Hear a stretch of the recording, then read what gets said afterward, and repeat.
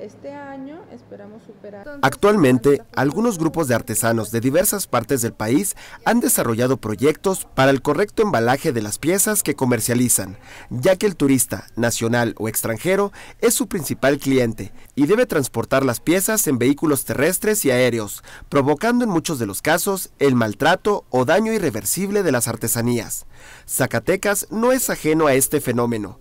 Por ello, la Subsecretaría de Desarrollo Artesanal se encuentra en la búsqueda de un proveedor que pueda satisfacer la demanda de embalajes adecuados a las piezas hechas en el Estado para transportarlas adecuadamente.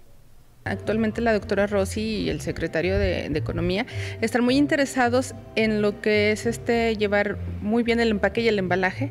Es un tema primordial sobre todo para las empresas y bueno, ahora para lo artesanal y se está trabajando, eh, se está trabajando en encontrar un buen proveedor se deben tomar en cuenta elementos particulares, como la fragilidad de las piezas de cerámica o un embalaje hecho con madera para soportar el peso de la cantera. Se pretende que a finales de este año o principios del 2018 ya se cuente con paquetería exprofesa para algunas de las piezas que se realizan en Zacatecas.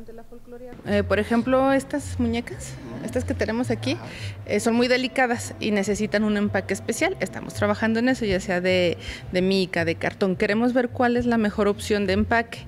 O en el caso de las catrinas, también llevan un empaque especial. O el caso de la piedra volcánica, que es muy delicada. La piedra volcánica parece vidrio. Si no se empaca bien, llega toda quebrada. Con imágenes de Gerardo Sosa, Jorge Hernández Tiscareño, Noticieros, Televisa.